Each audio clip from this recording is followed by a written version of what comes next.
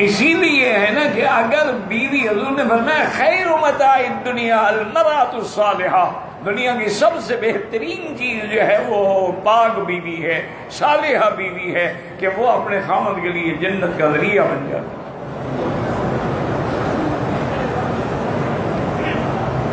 और अगर इसी तरह वो आजकल की बर्गर फैमिली की कोई बेगम साहबा हो तो इंशाल्लाह सीधा दोनों जहन्नम।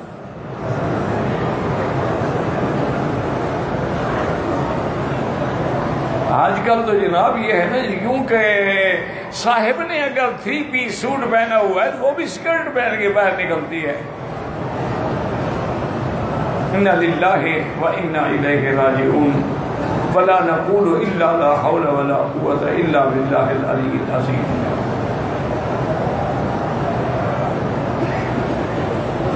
गैरत नाम है जिसका गई तैमूर के घर से। इससे बड़ा बेगैरत इंसान आपने देखा है कि उसकी बीवी के साथ दूसरा हाथ मिला के हंस रहा हो। दूसरा उसके बाजू के डाल के गले में डांस कर रहा हो और खामन दूसरी औरत के साथ हो। ये बड़े लोग जो है ना जी, उसे गुस्सा नहीं आता, उसे गैरत नहीं आता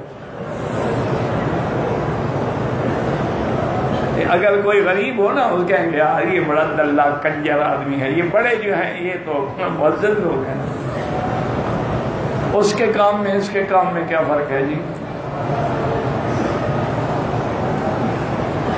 बस इन्ना व इन्ना देखे ना जी, सबसे बड़ा मकाम अल्लाह का हरम है। लेकिन आज सबसे बड़ी इम्तिहान की जगह अल्लाह का हरम है। तवाफ कर रहे हो तो औरतें हैं, सफ़ा में हो तो औरतें हैं, नमाज़ पढ़ रहे हो तो आगे औरतें हैं, फ़ैशन है, मेकअप है श्रृंगार है।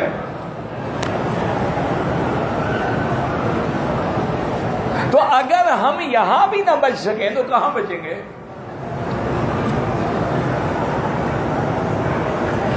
मेरे उस्ताद थे अल्लाह उनकी कबल पे करोड़ों रहमत फरमाए। ये हरम का जो नीचे का हिस्सा है ना अंडरग्राउंड अभी तो खैर नक्शे भी बदल गए तो उसमें हमेशा आदत बैठे रहते थे, दीवार के साथ। आगे दीवार होती थी, बस तिलावत कुरान करते रहते या नफलें पढ़ते रहते। और रात को 12 बजे रात के बाद बाकायदा कपड़ा डाल के तवाफ करने के लिए तशरीफ़ ले जाते हज़रत ये कहते भाई, जितनी कोशिश करो औरतें सामने तो आ जाती हैं। इसलिए आगे दीवार है, अब दीवार के अंदर से तो निकल के नहीं आएगी ना।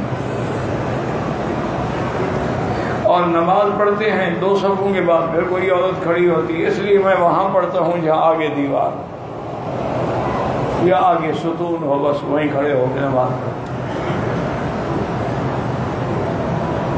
बारह बजे उस जमाने में बारह बजे रात को तो बिल्कुल यानी पचास, सौ आदमी होते थे तवाफ में। मालूम ऐसे होता था जैसे सौ डेढ़ सौ आदमी था। यानी हर चक्कर में बोस आते हैं इस्तलाम करें तवाफ के बाद मुल्तजम पे सीना लगाएँ खड़े हों घंटा घंटा दुआएँ करें इतना मज़ा आता था। हतीन में बैठे हैं माशाल्लाह दो दो घंटे बैठे रहें नफिल पढ़ें कुरान पढ़ें दुआएँ करें। अब तो पहले पहुँच ही नहीं सकता अगर पहुँच भी जाए आदमी तो, तो क्या फ़ायदा जब इधर बाजू से औरत लगी हुई हो और वो भी गैर महरम तो उस दुआ का या तवाफ का कोई फ़ायदा?